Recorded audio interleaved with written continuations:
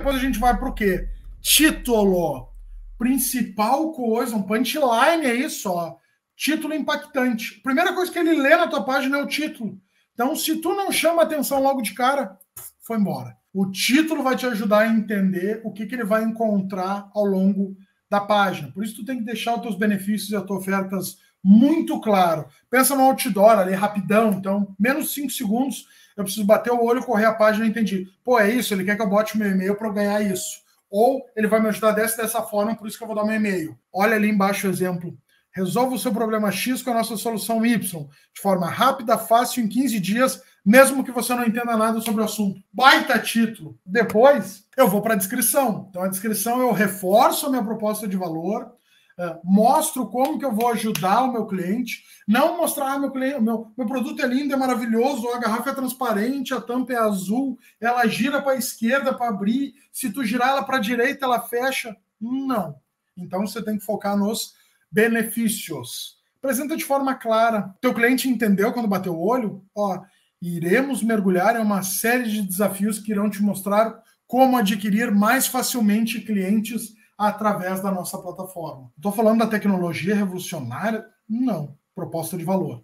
Então, a descrição, ó, proposta de valor, ficou claro para a pessoa. Ótimo. Depois eu caio para o quê? Imagem e vídeo.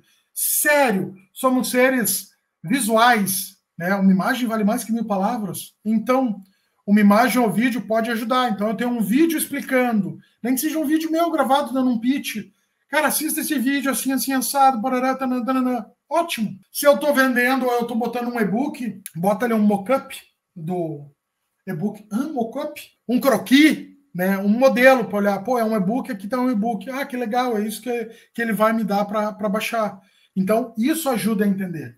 Se é da tua solução para ter acesso ao app, bota uma foto do app ali para que a pessoa olhe. Pô, que legal. Se eu me cadastrar, vou ter acesso a isso aqui no app. Pô, que topperson. Depois, formulário. Se eu tenho uma landing page eu quero converter, o principal é a porcaria do formulário. Então, se eu estou oferecendo algo em troca, eu quero saber quais os dados que esse cara vai me dar. Então, presta atenção no tamanho do formulário. Por quê? E aí até dica para quem usa softwares mais caros, tipo um RD Station, paga lá uma bala para usar, qual é a principal informação? Qual é o principal dado? Isso é relevante mesmo para o que você quer fazer? Quanto maior for o formulário, menor a chance que a pessoa tem de responder. Então eu vou te dar algo em troca. Pô, eu, eu, eu vou trabalhar essa prospecção com e-mail, Léo. Então a primeira coisa que você tem que pedir é e-mail. E qualquer formulário que tu for ver, eles vão pedir de cara e-mail. Então sempre o e-mail tá ali. O que mais que eu poderia? Você pode pedir o WhatsApp. Por quê? Porque aí o WhatsApp eu vou usar. E aí, ah, Léo, tem a tal do LGPD. Simples. Você só vai botar um íconezinho dizendo o quê? Estou entrando em contato pegando seus dados porque eu quero te explicar mais sobre essa solução. Dica básica de LGPD: se você for franco com e transparente com para que, que você está pegando o dado do teu cliente, 90% da tua LGPD já está adequada. Que é isso? Para que, que eu estou pegando esse dado? Ah, para te entregar um material. E aí, entregando esse material, ah, mas pode ser que eu te peça isso. Se deixou claro, tá tranquilo. Outra coisa, call to action chamada para ação. Então, ponto de conversão tem que ser excepcional. Destaca ele dos outros elementos, cor, chamativo, para que faça. E aí diz que se tu botar em primeira pessoa, interage mais. Quero minha vaga, receba o material, peça já, garanta agora a sua vaga. Isso é um call to action, chamada para ação.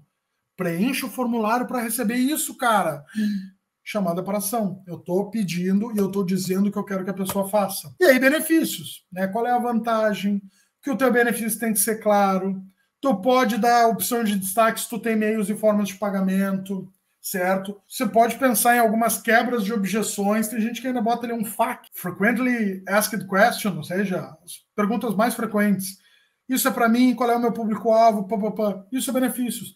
E aí uma dica que eu te dou antes de tu querer fazer o site, abra um documento no Word, no Google Docs, bloco de nota. E aí tu faz o quê? Tu escreve qual é o meu título matador, quais são os benefícios em tópico, pá, pá, pá, pá, pá. qual é a minha descrição. Fica muito mais fácil eu já tenho ele escrito, porque a maioria já quer fazer direto no site. Tá, eu já quero ali layoutar bonito, Léo.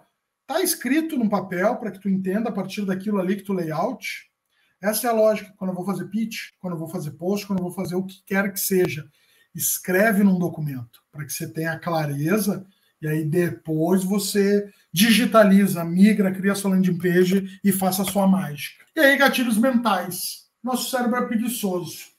Então ele está sempre procurando atalhos para tomar decisão para economizar energia, né? Porque essa máquina aqui é muito poderosa. Essa máquina aqui, ó, extremamente poderosa. Então, às vezes, ela mete uma preguiça. Então, o que é uma preguiça? Ela tenta achar um atalho para que tenha menos esforço para pensar. Então, um, gatilho muito bom, prova social. Eu estou ganhando atenção pegando relatos de outras pessoas. Então, posso ter depoimentos. Ah, mas eu não tenho nem produto.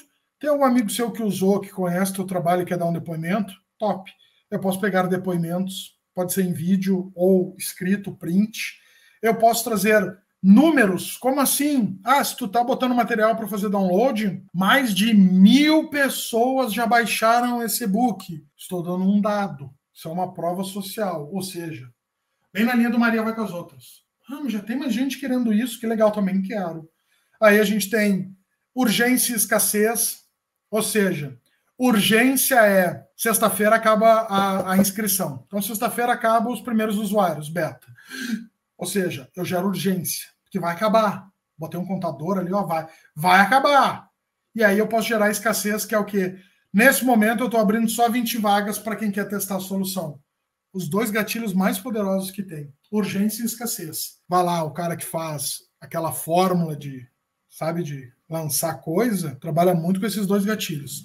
Ó, oh, eu vou abrir o carrinho e sexta-feira eu fecho o carrinho. A gente cai sempre, que é o que?